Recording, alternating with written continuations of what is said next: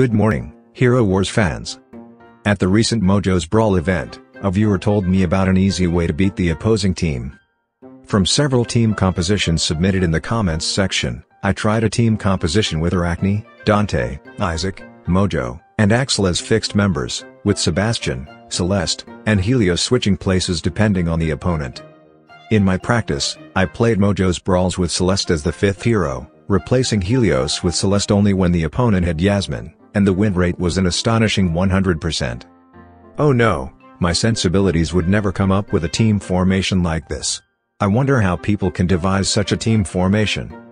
It is a little awkward to proudly introduce a team composition taught to me by a viewer, but this is also the result of my personal virtue. In my case, the first day I played Mojo's Brawls, I fought only with K'arkh team and the win rate was not so good and I had to use additional 100 emeralds to clear the event. If I had known about the team composition presented in this video from the first day of the Mojo's Brawls event, I would have gladly put this information together in a video to share with you, but I apologize for not being able to share it with you during the Mojo's Brawls event. Now, Mojo was the star of this event, but I don't think I was the only one who felt that only the high performance of Arachne, Dante, Celeste, and Isaac stood out clearly. If anything, I think Mojo was the only one who was not active in the battle. Well, that said, I personally appreciate this event because the equipment given at Brawl events is very attractive, haha. In this video, for convenience of video production, the speed up button is pressed during the battle scene.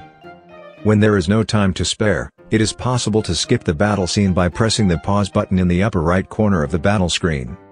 I played the event on the first day of this event with my preferred team composition and spent about an hour on the Brawl event.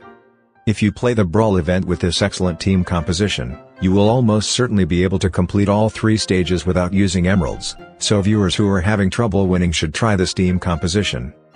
By the way, Mojo's Brawls has already ended, but I tried again the team composition introduced in this video and was able to clear all three stages with only three defeats.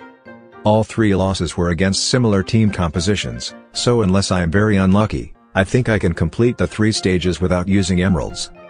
Now, the Mojo event was held this time, and I thought that Mojo's Ascension would be released at the same time as this event, but there was no change regarding Ascension.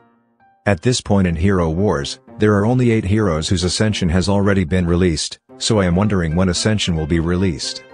If anyone knows when Ascension will be released, I would appreciate it if you could let me know in the comments section.